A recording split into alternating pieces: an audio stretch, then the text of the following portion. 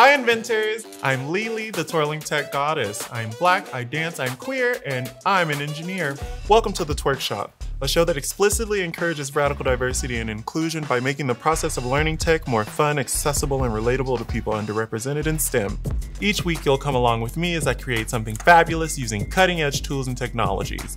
Then I'll put it through my patented twirl test to make sure that it's stage ready. That's right, we twirl with our tech because you know what they say the family that slays together increases their socioeconomic status together.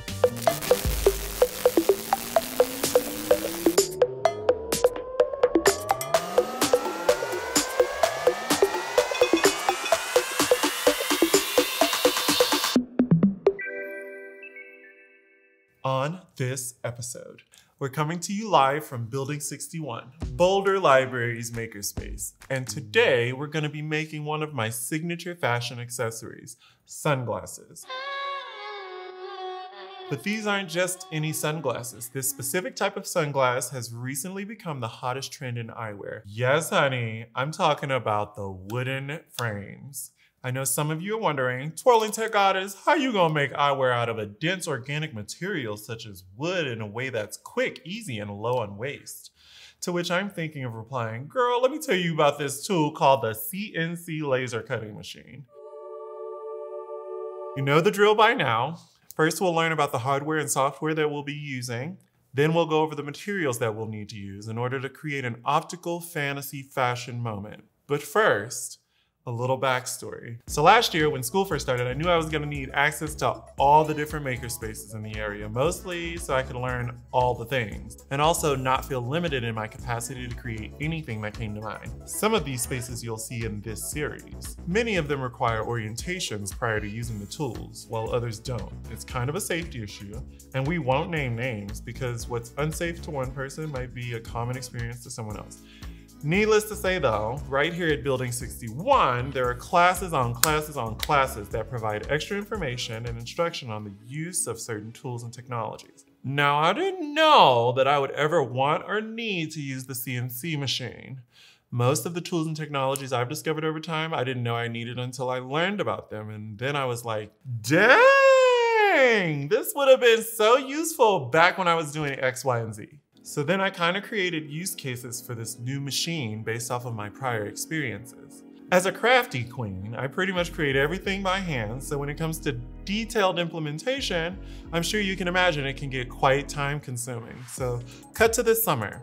My drag mama asked me to perform in one of her shows, and it was a digital drag show, so my lazy ass thought, yay, I'll just send her one of my episodes from the TWIRCH shop and call it a day. No, Madre was like, child, this video 15 minutes long. And I asked for a four minute, 30 second number. So I was like, okay, I have a song in mind and it don't take me no time to hammer out a costume. So I was like, fine then. For the look, I knew I wanted these rigid feathers and I pulled out my X-Acto knife and some EVA foam and suddenly I remembered, oh snap! I could use the CNC machine to cut these out and it would be so much faster. So that's what I did. And honey, let me tell you, aside from the initial setup of the images of the leaves that I wanted to cut and overcoming my struggle with which settings to use for that specific material, I had a gang of leaves, lickety split. I had cut so many, I didn't even use them all. And it goes without saying that my video turned out beautifully and my costume turned out beautifully, etc., etc.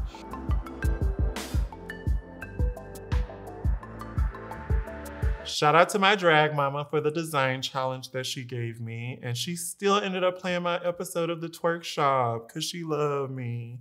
Shout out to Felony Misdemeanor. We stand. Love you, Madre. Shout out to all drag families, queer families, ballroom houses, kiki houses, chosen families. Comment below if you belong to a drag family or ballroom house and share this video with your family and let them know you love them. Most of them. So what the fuck is a CNC machine? I got all this shit from the internet, by the way. Prototypehubs.com defines laser cutting in particular as the process of vaporizing, melting, or removing material gradually using a laser beam.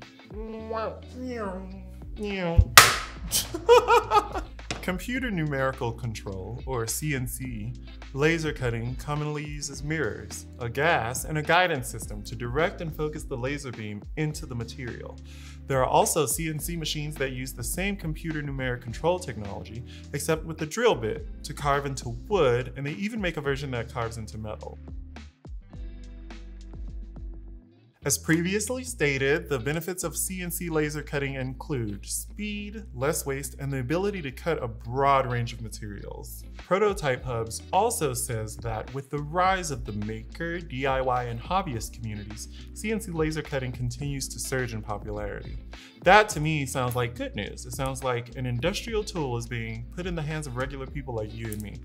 And quite frankly, it makes total sense that this access coincides with the rise of these maker spaces. Because let's be honest, I'm not gonna go out and buy a whole damn CNC nothing. That's why we really wanna take a moment to say thanks to the maker spaces that provide access to this type of technology. I would like to encourage you to research the maker spaces in your area and the tools and technologies that you have access to in those spaces. And that's on what? Computer numerical control laser cutting machines. Period. Materials. Materials that you might want to avoid using a laser on include anything that releases harmful gases when you burn it and most metals.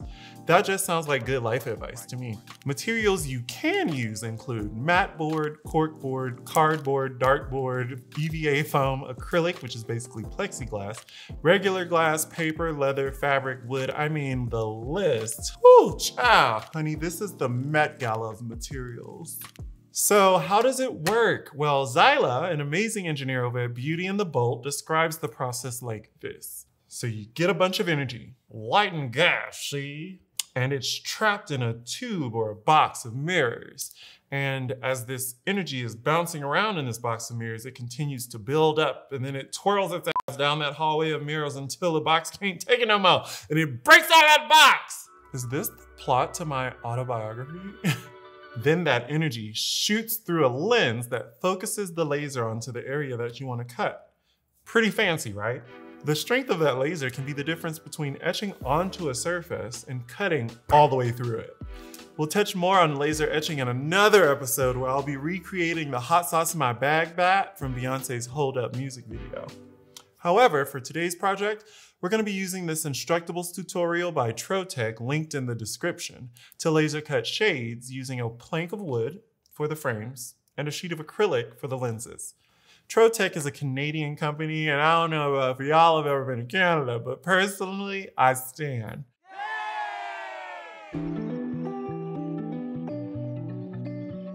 So, download these files from the Instructable and either email them to the computer associated with the CNC machine or put them on a flash drive and put the flash drive in the CNC machine.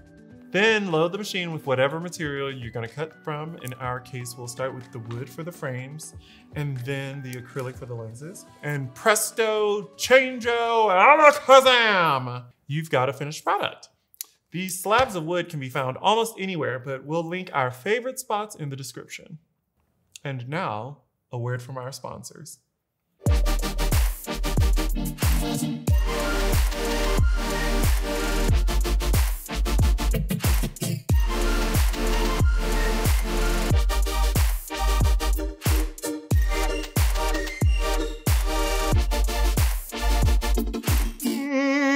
Essentials. Today's gonna be an easy day because all we need aside from the large CNC machine, the wood and the acrylic, is super glue and maybe paint or wood stain for those of you who wanna get fancy. Crazy to think about because normally I have a table full of tools that I wanna use. However, this machine does it all in one fell swoop. And all I have to do is just glue it together. That's pretty sickening. Most of these machines will already be attached to a computer, so you don't have to worry about downloading any software. And if you've seen any of our other videos that are pretty software heavy, I'm sure some of you are like, thank you, goddess. You're welcome. Now let's get started. Ah!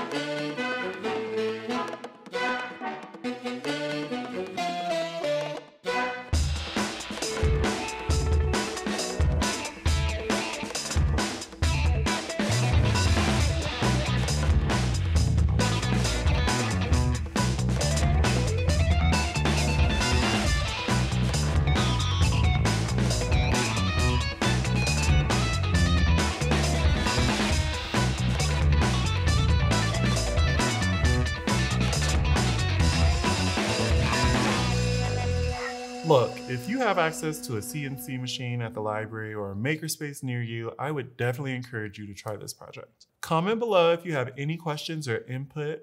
Tag me in photos and videos of you decorating, painting, and rocking your new shades, remembering always, always, always that creativity breeds innovation.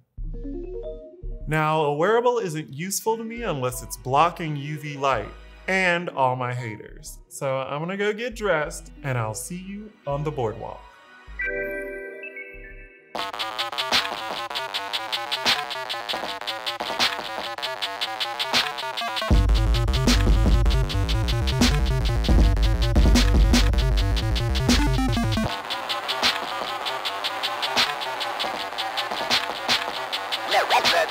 Like, share, mm, subscribe, and turn on your post notifications before I use my Jedi mind tricks. And remember, shade came from reading. Reading came first. This program was made possible with the generous financial support of the Boulder Library Foundation. To learn more and find out how you can get involved and help fund future library programs, visit boulderlibraryfoundation.org today.